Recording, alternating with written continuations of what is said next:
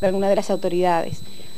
Fuera de esto, el, día miércoles tuve la oportunidad de estar conversando con nuestro consejero de secundaria, el, profesor eh, Jorge Carbonel, y con el maestro Sirio Ladruz, el director general de, Educación Primaria, que hace poco, el día de la inauguración del jardín, estuvieron en, en también, y ellos prometieron eh, esta semana reunirse los dos para ver qué posibilidades había, habría de mejorar eh, la situación edilicia del Liceo de Masoyer.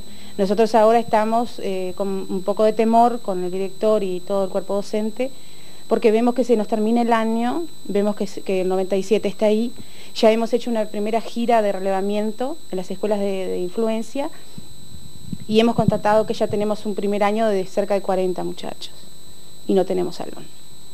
¿Y cómo están entonces las cosas precisamente con el año 97? O sea, ¿qué, ¿Qué niveles tendrían el año que viene si lograran un salón adecuado, un local un poco más acorde? Bueno, el año que viene ya este, se habilitaría tercer año, primero, segundo y tercer año de ciclo básico. Inés, ¿y cómo viene colaborando la gente de Salto? Que sabemos que es buena la colaboración en algunos niveles. Ah, sabemos que hay empresas de transporte, que el propio municipio de Salto se interesa mucho porque muchos alumnos son de allí seguramente. Y también Artigas, Rivera están colaborando. Sí, de Salto precisamente hemos tenido un apoyo económico importante por parte de la Fundación Martín y Corena Gastesi, como yo te dije en otra oportunidad, este, que nos ha eh, proporcionado eh, dinero para bancos, que, también nos hacía mucha falta, eh, y para el hogar estudiantil un aporte muy importante que fue una heladera, porque el hogar estudiantil, aunque parezca mentira, no tenía, no tenía heladera. Bien, nosotros estamos llegando al final de nuestra nota, queremos agradecer a nuestras acompañantes en esta, en esta oportunidad. Vamos a felicitar a María Verónica, a desearle mucha suerte, mucho éxito y que siga trabajando de la misma forma junto a sus compañeros. Felicitaciones entonces María Verónica y gracias. Gracias.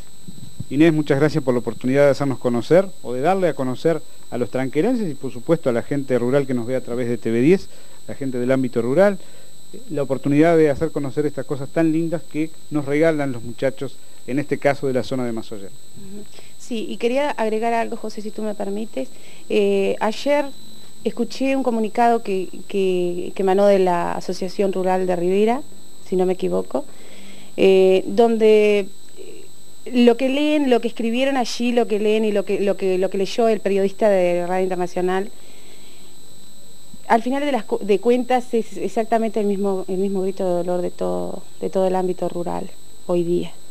Nosotros pedimos, digo yo no, pertenezco al medio rural, pero lo siento así a, través de, mis chivilines, eh, que le pedimos a las autoridades que, que, nos den un poquito más de apoyo, que nos brinden un poquito más de apoyo y que nos abran un poco más las puertas.